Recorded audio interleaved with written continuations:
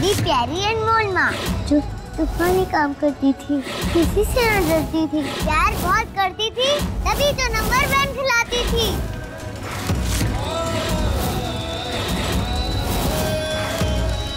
अब देखिए कैसा है ये रिश्ता अनजाना। दंगल प्ले पर टीवी से पहले।